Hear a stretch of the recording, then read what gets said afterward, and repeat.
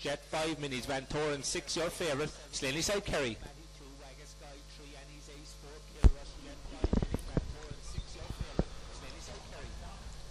Away and racing they go. Six is quickest into stride. Two showing lovely pace along the inside. Four also trying to get involved, but it's two gone around in front. A bit of trouble in behind. Three turns second, and the one in front is going to take some catching. Leads by two or three lengths from three. One could be the biggest danger here now. Starting to show big pace in second. Within two lengths, make that a length. It's two being challenged now by one on the outside. Here comes Watch Out Matty over the top. One on the outside, two along the inside. One and two, two and one. Two finding more on the inside. One coming again on the outside. What a race! And trap number one, watch out, Matty. What a powerful performance there by the Mark Joining trained runner.